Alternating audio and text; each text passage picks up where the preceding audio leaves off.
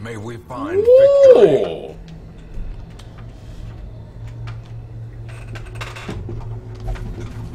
I can agree with that, Spammerino.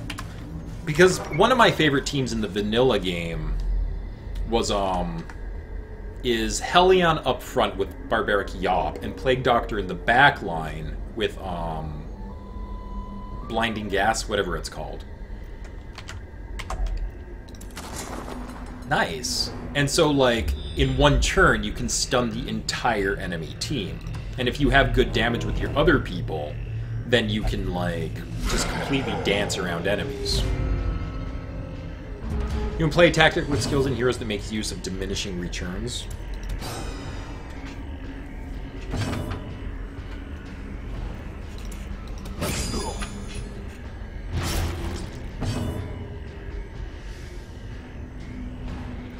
And okay, see that is something that they tried in terms of the like, if you stun an enemy, they then get a buff in terms of like The like match is struck. um, A their stun resistance on the next born. turn. They try to make it so that you can't just perma stun people forever and ever. Am I Canadian? No.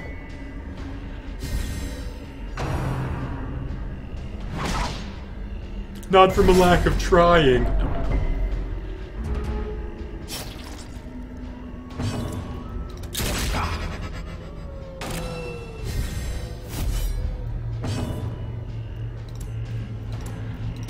Start to get some bleeds on the big guy.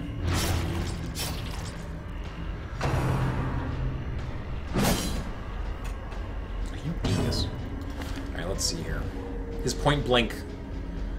Minus 15% damage to and from the skill point blank shot. How long does that work? Because I, I, since I saw that on there, I haven't been using it. Because I used to just do the revolving, you know, the dancing, duelist advance plus point blank shot, and so that basically cancels each other out.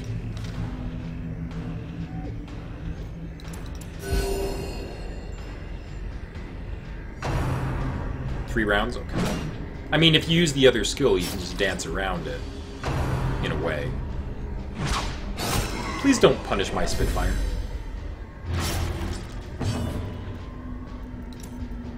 He's gonna bleed out, so we can...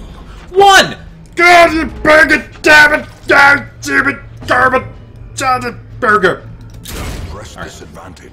Alright, now that I got that out of my system. Ahem. Let's get some heals going here.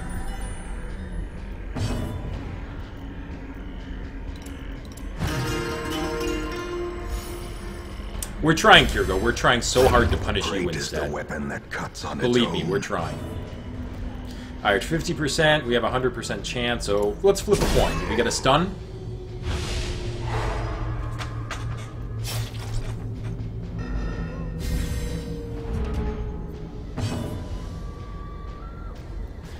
Well, even an enemy with a prot, though, if you're using the age-old Highwayman machine gun combo that you could use in vanilla, like, even enemies with high prot, you used to still be able to point-blank shot machine gun them down because of, like, high speed and high chances to crit. It wasn't the best tactic necessarily, but it still worked in certain um, instances. At the very least, it was usually good for taking down at least one or two enemies. And then everything else would start to just fall into place. Alright, we're gonna see if we can let our other people take a turn here to try and do a little bit of healing on the fly. Because he's gonna bleed out, so...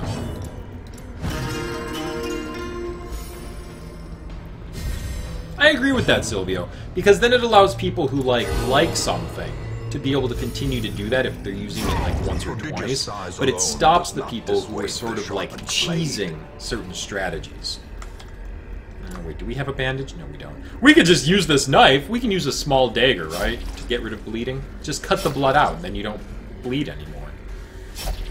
Makes sense to me. Cut out all the blood and then you stop the bleeding. You know what? We should be able to use torches to stop bleeding. Just cauterize the wound.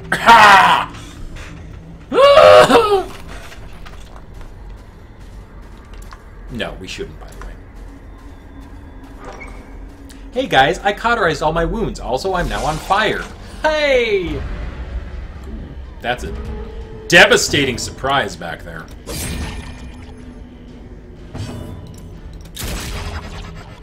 I'm gonna rely on holy toilet paper here. Show me the TP. TP Pro Strats. Really need to go and get some more coffee or something! Coffee or tea! Coffee or tea! You had to get a cut cauterized once? I had my nose cauterized. It was an experience. Oh, wait, you know what? I'm going to use that anyway. Fire is the answer for everything. 1 HP. You better bleed. I know you have no chance of bleeding, but you better bleed anyway. As the fiend falls, a faint hope blossoms. Damn! This vessel is crit pretty much like every single time we've used the AoE. The entire encounter is being overhauled? Oh, good lord, what are you gonna do to the Shambler? Damn, Kirgo, nice hit! That's, uh... Be wary. Triumphant pride precipitates a Do-do-do-do-do. fall. Where is it? Kirgo, the Crusader, has the highest crit with 12. Technically 12 twice, but we're not going to split that up. What we got here? A beautiful fountain. It looks unaffected by the surrounding chaos. Alright, that sounds like something we should be able to just touch without a problem.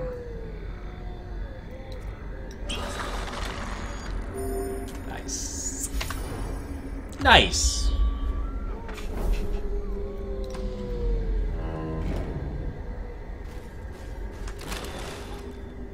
Well, I know I'm definitely not in the majority here when I say a lack of information kind of excites me.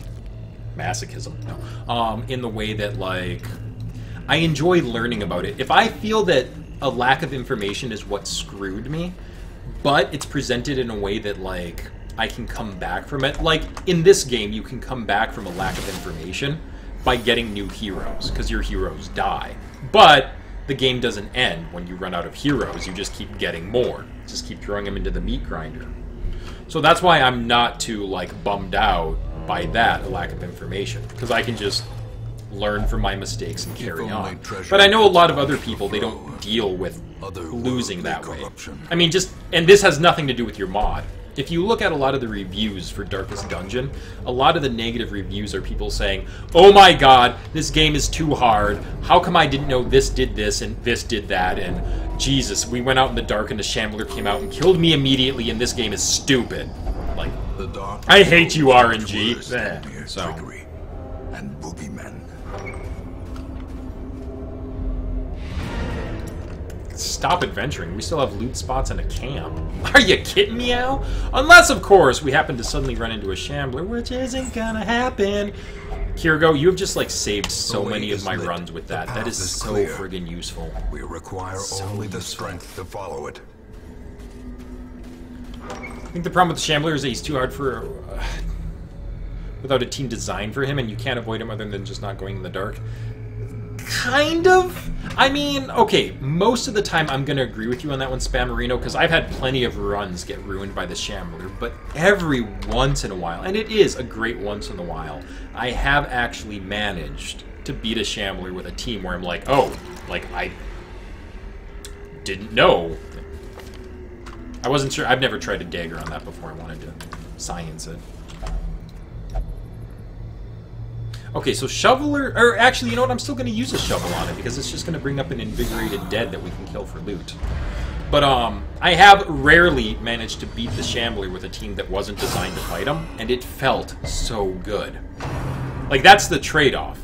Is like I ran into him, it was an oh shit moment. We actually managed to beat him, and then it was like, wow.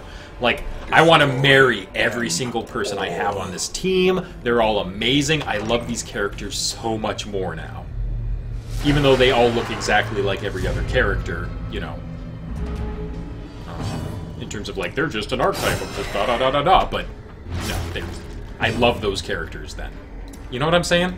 I get super attached, and then they die, and then I go, so. You wouldn't believe I get attached based on my play style, but I do. I just get over it quick.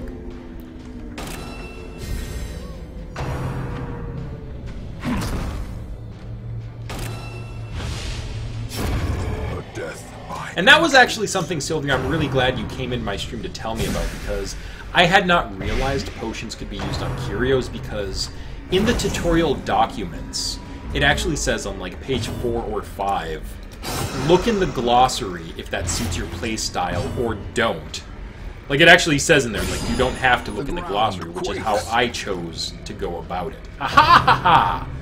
And in a way, though, I kind of screwed myself. Because I was just like, oh, well, I don't want to get rid of these potions because they're worth some money, and I don't want to do that. But I, I have never played this game with a wiki, though. I almost felt like cheating when I looked at your um, glossary until I realized that it doesn't tell you what curios it works with. It just tells you which potions can be used on curios, and then you still have to figure it out for yourself. But anyway. Is Shambler just a random difficult enemy that shows up every once in a while? The Shambler is a mini-boss in the game who has a chance of showing up when you have no torchlight left. So if you wander around in the dark, enemies fights in hallways could randomly be the Shambler.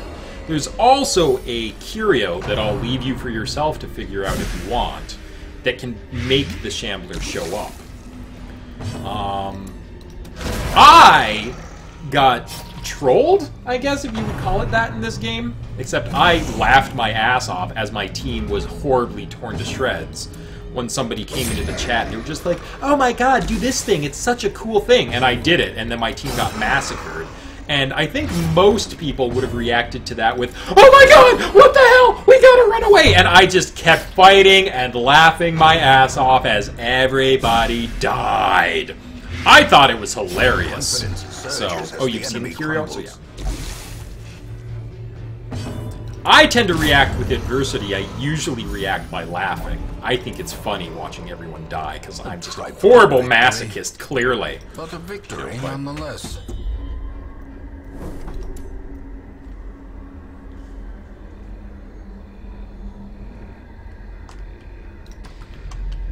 Oops. hey, you know what? We fought for this. Let's just leave the curio here. We don't need that.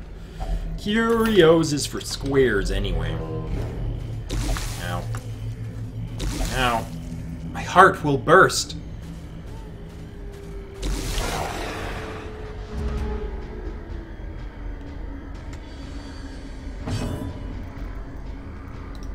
Well, I, if I had to guess, Silvio, I would say what Spammerino is talking about in terms of like randomness is like this one is a shape-shifting scratcher, or you can end up with random suffixes of enemies.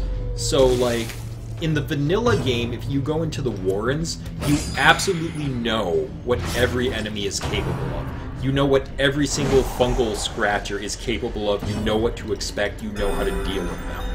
But when you play in Pitch Black Dungeon, you don't know. Because what if it's an invigorating one? Or what if it's a horrific one? Or what if it's, you know, like there's so many different things that they could be that it's hard to. The basic moves are still there, but how to prepare for certain dungeons isn't always immediately intuit. Oh my god, is Kirgo going to die? In a single ah! Back from the edge, comrade! You do this to me. Don't you do this to me, Cargo!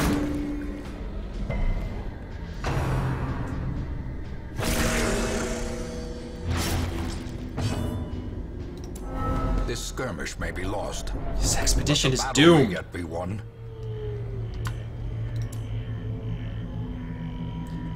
Okay, we have to actually get you off of Death's Door, though, so that her ability will work. Okay.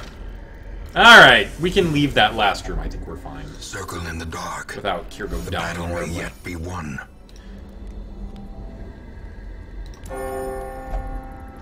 Let safety be upon us. Let us be veiled in holy light.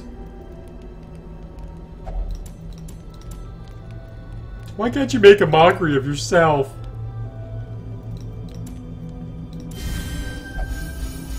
Forget not that our errand is holy and just. Light will prevail. Man, I wish mockery... Well... Then again, I guess when you look at the trade-off, you're increasing someone by 20 to reduce two other people. That's true. In one regard, like, you're